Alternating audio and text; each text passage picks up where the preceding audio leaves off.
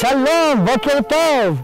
מה שלומכם? ברוך השם. איזה יופי, ברוך השם. אנחנו מהרלי, מנחם שלח אותנו. אה, מהרלי, איזה יופי. בואו, תשבו. יש לנו היום תוכנית מיוחדת.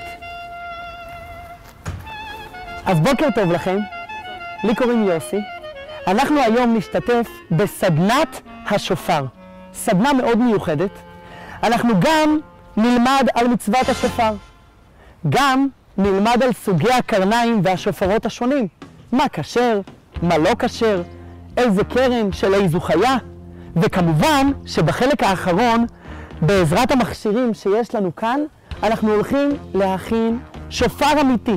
מהקרן הגולמית את כל השלבים. אנחנו ננסר, אנחנו נקדח, ניצור את הפייה, נשייף ונבריק.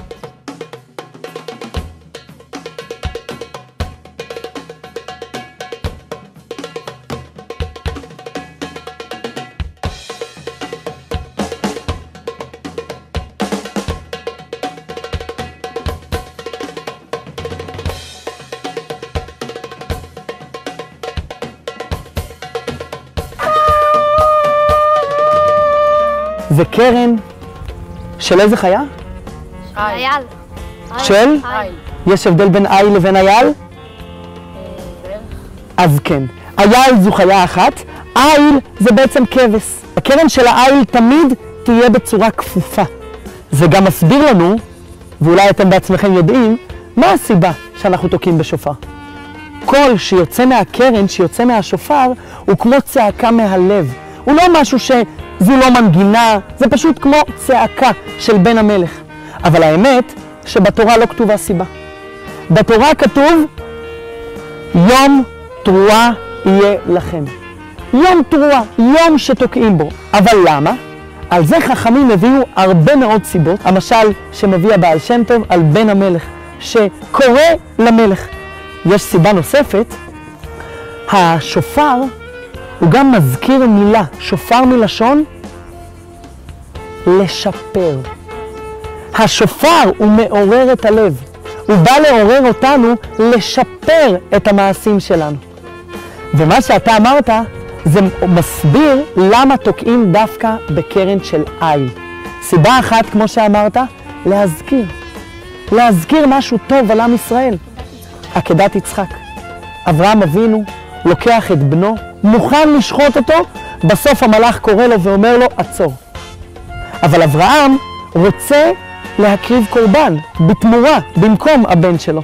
הוא הולך, מוצא איל, שהקרניים שלו הסתבכו בענפים. הוא לוקח את האיל ושוחט אותו במקום בנו. ראש השנה זה גם יום הדין, ואנחנו רוצים להזכיר דברים טובים על עם ישראל. לכן אנחנו מזכירים את עקדת יצחק.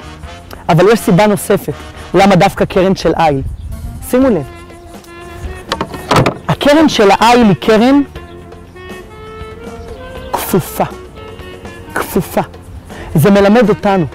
גם אנחנו צריכים, יפה, לכופף את ליבנו לפני אבינו שבשמיים.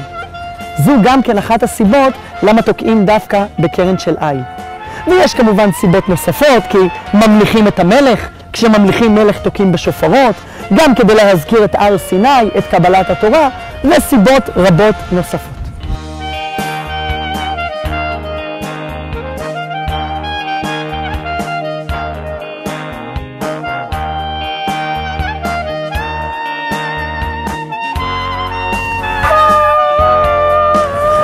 עכשיו אנחנו מגיעים בעצם לתהליך המיוחד של הכנת השופר.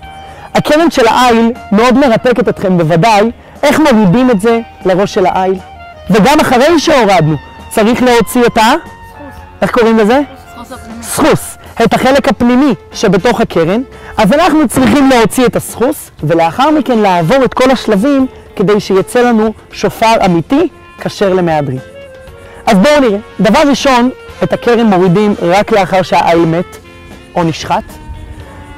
רוב הקרניים היום מגיעות, רוב או הרבה, מגיעות ממרוקו, כי שם שוחטים הרבה אילים, הרבה כבשים. את הקרניים שולחים לארץ, מורידים את זה מהראש של האיל, כמו שאמרתי, לאחר שהוא מת, מאוד פשוט עם מסור חשמלי, או איזשהו מסור שמוריד את זה. בשביל שיהיה ניתן להוציא את הסחוס הפנימי, מייבשים בשטח, ממש בשטח עצום, אלפי קרניים תחת השמש למשך מספר חודשים. לאחר שהקרן מתייבשת, שימו לב, לוקחים את הקרן, נותנים מכה והחלק הפנימי יוצא. יש כאן קרום, קרום דק שנמס בין החלק של הסחוס לבין העצם. לבין העצם, לבין הקרן. ואז במכה קטנה הסחוס הפנימי יוצא מתוך הקרן. ומה יש לי ביד? כן. קרן. זה עדיין לא שופר. מתי זה יהיה שופר? לאחר שנעשה לו פיה, וזה יצא כשר. אנחנו מנסרים חלק קטן, יש כאן את המקדח. המקדח הזה זו עבודה מורכבת, לא פשוטה.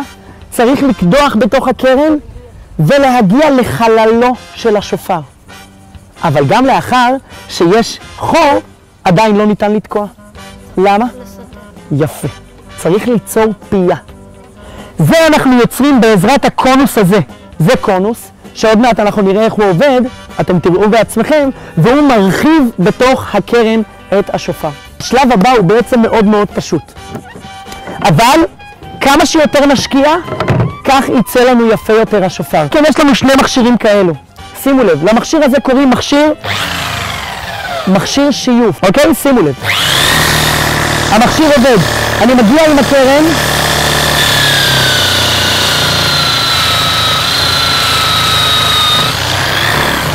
המטרה של השיוף זה לא להוריד לו את כל הצורה הטבעית של הגלים, לא להוריד לו את החספוס, אלא רק לנקות אותו. למה? כדי שלאחר שננקה אותו, בעזרת המכשיר הזה, שזו המכשיר ההברקה, המכשיר הזה זה 16 שכבות של בד דחוס, ובעזרת המשחות הללו שיש לנו כאן, אנחנו בעצם יוצרים את ההברקה. זו הברקה שלא יכולה לרדת, זו משחת אלומיניום, כך קוראים לה, והיא זו שיוצרת את הברק של השופר.